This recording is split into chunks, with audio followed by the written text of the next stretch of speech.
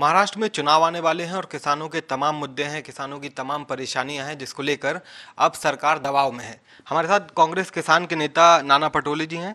पटोले जी नागपुर में जैसे संतरा किसानों के अभी कई हम लोगों के पास प्रोटेस्ट आए कि उनको, उनकी फ़सल बर्बाद हुई है बाढ़ से, बारिश से और सूखे से। सरकार से मुआवजे की मांग हो रही है, सरकार कुछ सुन नहीं रही। आप लोग उस पर क्या कर रहे हैं?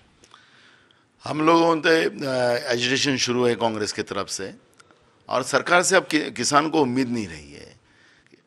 अभी शिवसेना ने भी सवाल उठाए थे प्रधानमंत्री फ़सल बीमा योजना को लेकर जिसमें कई लाख किसानों को योजना से बाहर कर दिया था।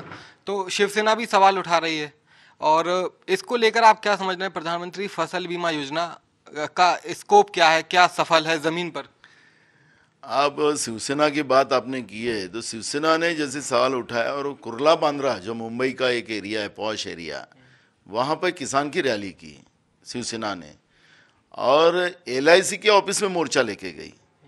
अब वो रिलायंस के ऑफ़िस पे लेके जाना था, क्योंकि रिलायंस जो फ़सल बीमा योजना है, उसमें रिलायंस काम कर रही है। तो रिलायंस के ऑफ़िस पे लेके जाना था तो उन्हें एलआईसी के ऑफ़िस पे लेके गए। आपको ये लगता है कि इस बार जो चुनाव होने हैं विधानसभा में, उसमें किसान एक बड़ा मुद्दा बनेंगे?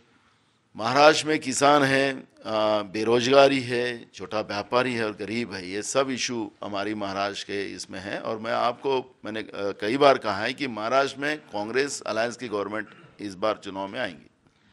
जब लोकसभा के चुनाव हुए थे तो हम लोग विदर्भ के कई इलाकों में गए थे, वहाँ पे जो कर्जा माफ़ी स्टेट गवर्नमेंट की की थी, उसका फ़ायदा किसानों को नहीं मिला था और भी परेशानियाँ थी। नागपुर में मैं आपसे भी मिला था तो लोकसभा चुनाव में तो आप लोग उस मुद्दे को भुना नहीं पाए। लोकसभा, अब विधानसभा में क्या रणनीति बदलेंगे या कैसा लग रहा है? अब आपको तो पता है कि जब चुनाव पार्लियामेंट के शुरू थे तो उस समय की रणनीति सेंट्रल लेवल से बनती थी और उनके आधार पर ये सब चुनाव की प्रक्रिया बनी। लेकिन ये स्टेट का इलेक्शन है और स्टेट के इलेक्शन में स्थानिक मुद्दों को बहुत ज़्यादा प्राधान्य देना पड़ता है। और किसान का मुद्दा उसमें सबसे ज़्यादा ताकत से सामने आने वाला है और किसान, ये सबसे बड़ी ताकत महाराष्ट्र में है और किसान ही फडणवीस सरकार को औंधे मुँह सुलाएँगे। ठीक हमसे बात करने के लिए बहुत बहुत शुक्रिया। और देखते हैं कि विधानसभा चुनाव में कांग्रेस किसानों के मुद्दे को किस स्तर पर उठाती है और सरकार के लिए कितनी बड़ी चुनौती बना पाती है। दिल्ली से कैमरा पर्सन विवेक भट्टाचार्य के साथ शशांक पाठक, स्वराज एक्सप्रेस।